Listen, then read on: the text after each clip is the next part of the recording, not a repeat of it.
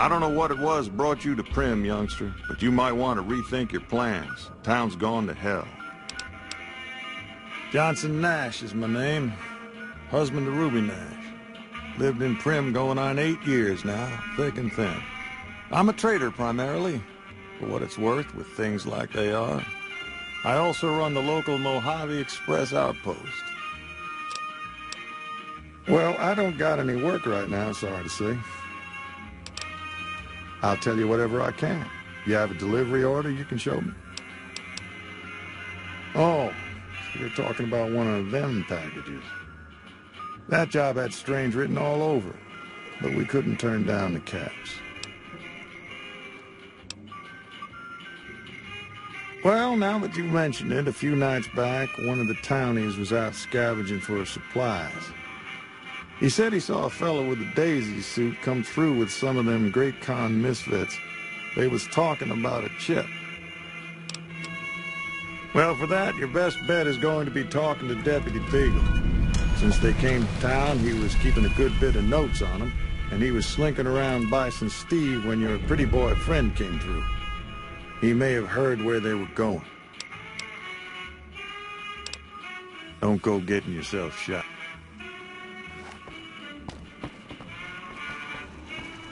Rather be left alone in my misery, if you don't. Hello there. What brings you to Primm? I'm Ruby Nash. Pleased to make your acquaintance. My husband and I are Primm long-timers. He fancies himself a trader, and I know my way around a kitchen. My specialty is a radscorpion venom casserole. It's more appetizing than it sounds. The venom has a sharp, smoky flavor, and it numbs your mouth so fierce you'll forget you ever had a tongue. It's perfectly safe, long as you don't have sores in your mouth for the venom to find your blood, 'cause that'll kill you dead.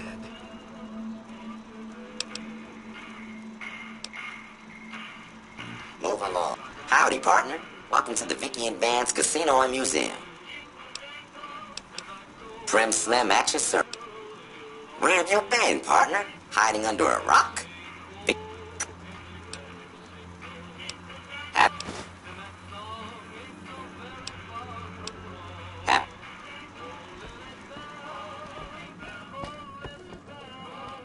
Before the powder gangers came to town, Johnson Nash ran the local store in the Mojave Express station.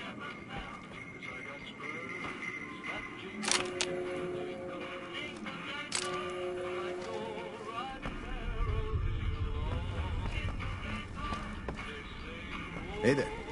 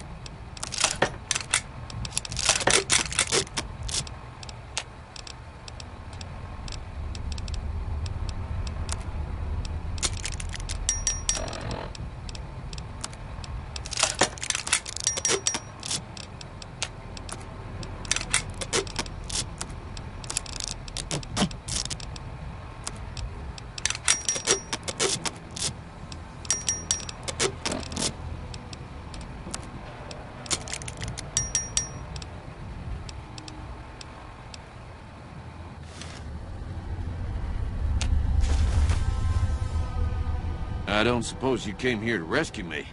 I'd cross my fingers, but my hands are numb. Why, yes I am. It's a pleasure to meet you. I'm in a bit of a predicament here. I'd be most appreciative if you'd set me free.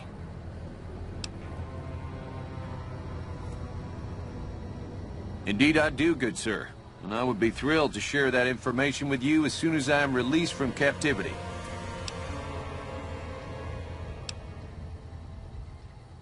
Oh, that's just marvelous.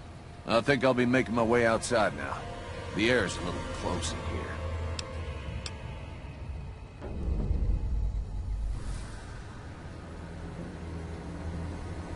Oh, why, uh, of course. I'd never let you fight my kidnappers with my help, but without it. You lead the way.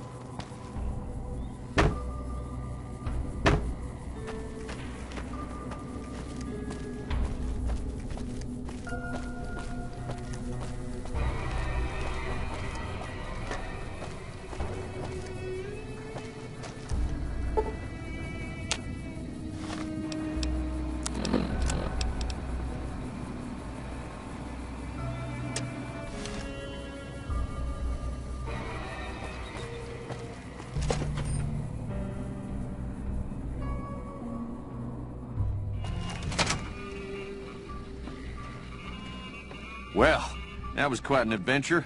We taught those convicts a thing or two, didn't we? Breaking myself out of a hostage situation. Not to diminish your role in it, of course, but it was quite thrilling. Problem is, there's still no law in Primm. What are we to do the next time ruffians menace us and hold us hostage? Ah, yes. My memory is much clearer now that I'm free from my bondage. I was uh, performing recon, gathering information on some of the powder gangers, when some Great Khans arrived with your friend in the suit. They were talking about some delivery they took from a courier. I assume that was you? They said they'd be heading through Nipton to Novak to meet a contact there.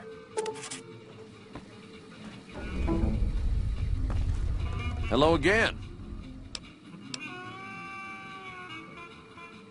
Oh, no. I'm just a deputy, and I can't be a deputy without a sheriff. It's called chain of command. It should be someone brave like you, but more of a homebody. Someone who'll settle down and watch over us. I heard the powder gangers talking about someone in the prison named Myers who has some experience as a sheriff. He may be a good choice. Also, with the NCR so close by, you may be able to get them to take over the town. Not sure why they haven't helped out already. You will? That's just mar... You...